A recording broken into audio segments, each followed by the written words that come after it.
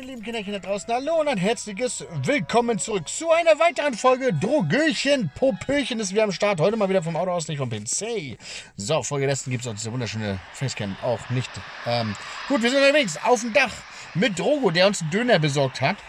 Und wir checken erstmal von oben die Menschen, die wie kleine Ameisen aussehen. Und ja, mal gucken, was noch oben passiert. Ähm, ja, und was er noch wollte, er wollte, dass wir ein Auto hochheben. Jetzt sind wir gespannt, wie es weitergeht. Ein Auto hochheben und woanders abstellen. Mal gucken. Wenn Nikola davon erfährt, dann bin ich tot. Und was Droge betrifft, so wird er auf ewig seinen Zorn verspüren. ich schließe die Augen und konzentriere mich mit gesteigerter Spannung auf ein, auf ein Auto. Ich sehe nur noch das, dieses Auto in meinem Geist. Ich versuche es zu verstellen, aber ich kann es nur wackeln lassen. Ich verstehe, dass es sehr schwer ist, diese Dinge auf eine solche Entfernung zu machen und mit einem so schweren Gegenstand. Ich glaube, in der Macht spielt Gewicht und Größe keine Rolle. Ich versuche es nochmal, aber es funktioniert wieder nicht. Ich stöhne.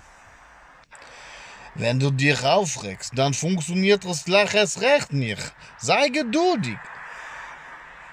Ich bin ermutigt. Es ist so frustrierend zu wissen, dass ich es kann, dass es mir aber nicht gehorcht. Noch nicht. Je mehr du übst, desto leichter wird es. Du musst dir Zeit geben. Dieses eine Mal geht es nach meinem Kopf. Leicht genervt konzentriere ich mich nochmals. Aber anstatt ruhig und überlegt zu sein, so wie es Nikola empfiehlt, lasse ich mich von meinen Emotionen lenken. Schnell bin ich von einer großen Kraft erfüllt, die mir umherwirbelt, bereit, einen großen Kampf zu führen. Als ich eigentlich aufgeben will, bewegt sich das Auto plötzlich stark. Das versetzt mich in eine kindliche Freude. Ja, ich dachte mir, gleich fliegen alle Autos in die Luft oder so ein Scheiß. Weißt du, pum, pum, pum, pum, alle Autos irgendwie weg und so. Endlich! Meine Freude ist jedoch von kurzer Dauer, als ich sehe, dass das besagte Auto plötzlich mit einem Transporter zusammengestoßen ist. Dieser ist gerade auf die Straße gefahren. Aber da ich zu sehr mit meinen Kräften beschäftigt war, habe ich ihn nicht kommen sehen. Das gibt Ärger. Ich zitter. Ich bleibe einen Moment lang stumm und schaue den Unfall an, bevor in mir Panik ausbricht. Oh mein Gott, was habe ich getan? Komm, wir müssen schauen, was passiert ist. Wir verlassen unseren sicheren Rückzugsort und begeben uns so schnell wie möglich nach unten. So ein grüner Qualm noch da unten noch. Was habe ich getan? Was habe ich getan?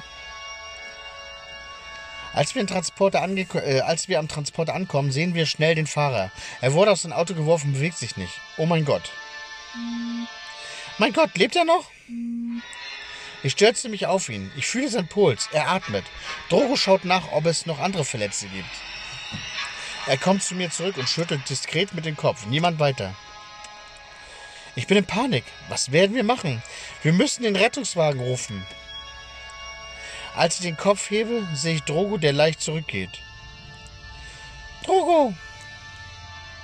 Er blutet und ich habe Hunger. Ich drehe mich zu einem Unbe Unbekannten. Tatsächlich läuft Blut aus seinem Schädel. Uah. Als ich mich zu Droge umdrehe, sehe ich, dass seine Augen rot aufleuchten. Ich verstehe sofort, was er tun will. Er will ihn essen. Oh nein, nein, nein, nein, nein, das brauchen wir jetzt nicht auch noch.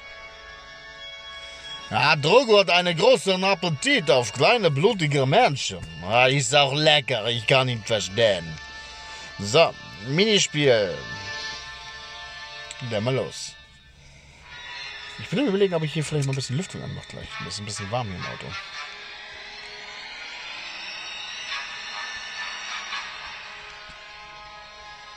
Oh, ich habe verloren, weil dieser scheiß Samantha da ein Berger war.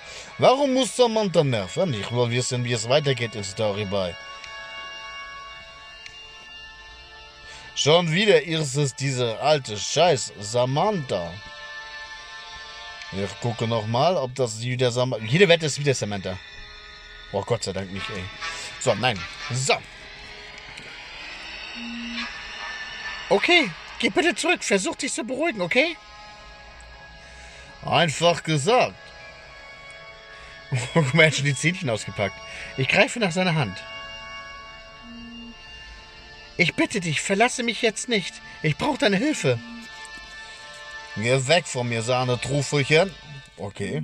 Tatsächlich sehe ich, dass er große Schwierigkeiten hat, der Veränderung zu widerstehen, die ihn bedroht. Ach, Drogo, das ist doch alles deine Schuld. Ich beginne mir zu sagen, dass die Situation verloren ist, als ein Schatten hinter uns auftaucht und mich hochschrecken lässt. Nikolai kommt auf uns zu. Wütend wie nie, packt seinen Bruder am Kragen und wirft ihn schonungslos gegen die Wand vor uns. Oh, hauer. Hey, ist der verrückt?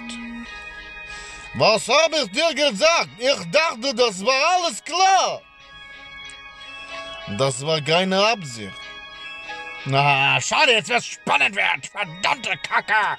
Ist hier die Folge wieder zu Ende. Und ja, Kinder, danke fürs Reinschalten. Das ist super spannend. Ich bin gespannt, wie es weitergeht und ich freue mich auf die nächste Folge. Und wie gesagt, danke fürs Reinschalten und bis zum nächsten Mal, ihr kleinen Mäuse. Tschüss.